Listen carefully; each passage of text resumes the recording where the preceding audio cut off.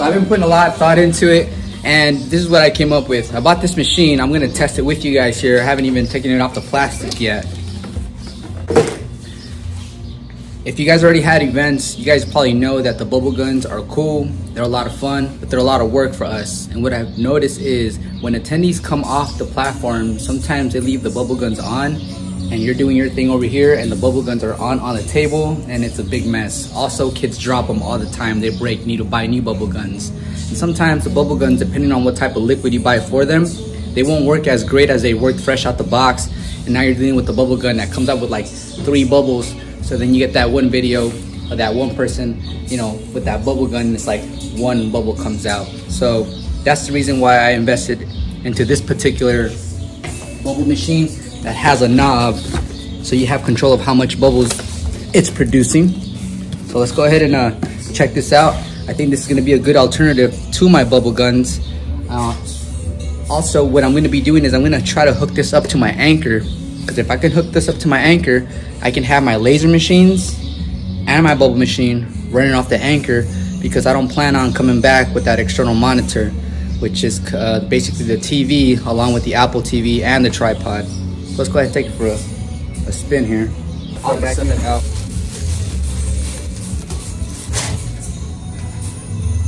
Comes with a little handle.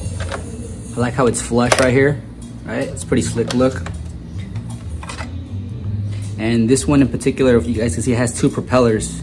So double the amount of bubbles. And the soap, we're just gonna pour it right in here. Comes with this cable that I'm gonna be connecting to the side. I believe it's right here somewhere. Right in here. Look how greasy my fingers is. I was eating a slice of pizza earlier. So hungry. Wait a minute, this isn't from my fingers. This is coming from in here. Anyways, also, you can have it uh, battery operated. Remember I told you guys that it's a good idea to buy batteries you guys can recharge. I think this one takes double A batteries. Yeah, this one takes double A batteries, so I can throw batteries in there as well. So this Anker right here, this is one of the first uh, major power banks that I bought. Um, after a lot of reviews, I bought it and I've been very happy with it since.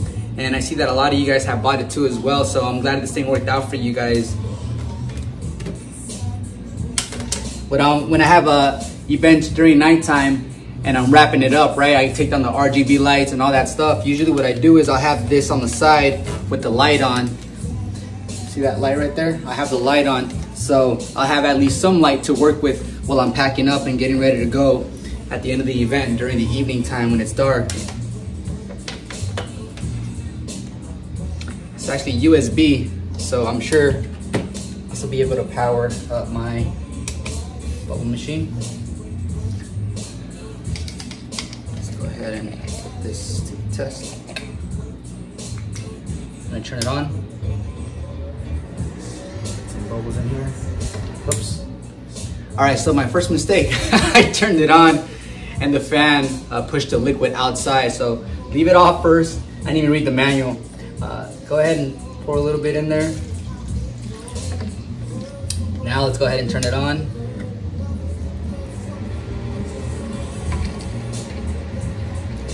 I like how it pushes the bubbles up in the air, so that's pretty good.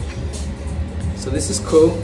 So this is on like on low speed. I'm gonna go ahead and turn it up really high. I'm gonna back up the phone a little bit too so you guys can kind of see the bubbles, different angles here. Okay. Cool. And then also, I want to give you guys another angle here. There you go. Okay, let me go ahead and turn it up here. Now I'm gonna turn it. I'm gonna turn it all the way up. See what effect we get. Here we go. Okay, it's on full blast now, baby. Right now, it is pulling, let's see, 16, 16 watts. Okay, right now it's on full blast and it's pulling 16 watts. So if I have the machine right now on this entire time at this speed, the Anker right now at 70% would give me six hours of runtime because it's only pulling 16 watts from the battery. So this is definitely something that you guys should probably consider getting next for your booth. I'm always gonna be coming up with like crazy little creative ways to just have like a, a production that is not only uh, you know outstanding, but also more efficient when it comes to the overall equipment that you're investing into. So this is definitely a nice little machine. One, one, one of the bows went inside my upper lip. Let's go ahead and move this right over here. Let me show you guys something. I'm gonna go ahead and turn it off. And then when you're done with the bubbles or done with for the night or the, the event, it has this. I can just pour the remaining soap right back into the bottle. Honestly, so far I can honestly say this thing is a winner. Before I finish this video, I just learned something really quick. Um, I had this attached to my power bank, my Anker down there, but I just realized you can also hook it up to a regular power bank, which is great because now this thing is even more portable. I can put it in a higher platform just like that to get bubbles even higher, just like this, right? Just wanted to share that part with you guys. I did not, not want to leave that part out of this video because how cool is this, man? You have this fully charged, the battery's probably gonna last you a couple hours or more. Remember, this thing's only pulling 16 watts. I'm gonna go ahead and put the link in this description. I hope you guys enjoyed the video. And if you guys have an upcoming event, I wish you the best of luck. Take care, guys. Peace.